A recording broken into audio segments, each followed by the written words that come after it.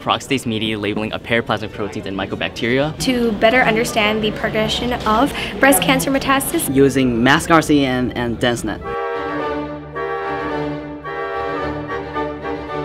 The synthesis of graphene nanocomposites with enhanced thermal conductivity and mechanical strength for use in heat exchanger and fuel storage technology. So basically, there's this black magic powder, and it's 300 times stronger than steel and a thousand times lighter than paper. It's pure flat carbon. What this project would do is let us save 50% of savings on using thermally conductive plastics. Investigation of laser diffractometry for sedimentological characterization of a core from the Douglas Manor Marsh. Resistin increases breast cancer cell invasiveness by inducing their mesenchymal transition. The relationship between atherosclerotic calcification and endochondral ossification in 50-week-old APOE mice sustainability in water treatment, heavy metal remediation via nitro-oxidized carboxycellulose nanofibers. The role of NRBF2 in the regulation of the ALK1 kinase complex.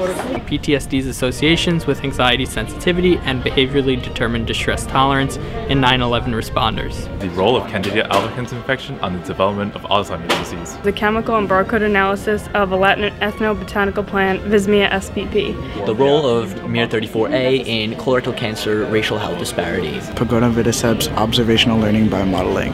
Double aligned graphene and hexagonal boron nitride heterostructures. And my project is on the impact of acculturation on moral judgment and perception of self in second generation adolescents. I work with a sea anemone called Nematostella vectensis, and so I specifically work with nicotinic acetylcholine receptors.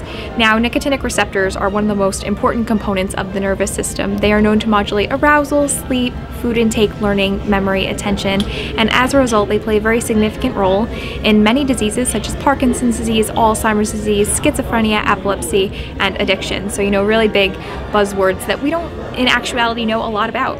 I'm very clearly passionate about what I do, and you know, it's about creating a story. You know, my story with this organism has been for three years, and I think that's a really long time. And as a senior, it's, you know, I'm thinking about college and it's been a real staple of me being in high school. And, you know, I think research is a lot about taking a shot in the dark and saying, you know what, even if this doesn't work, I'm still gaining experience, I'm still learning. From Smithtown High School West, Sarah Adamo.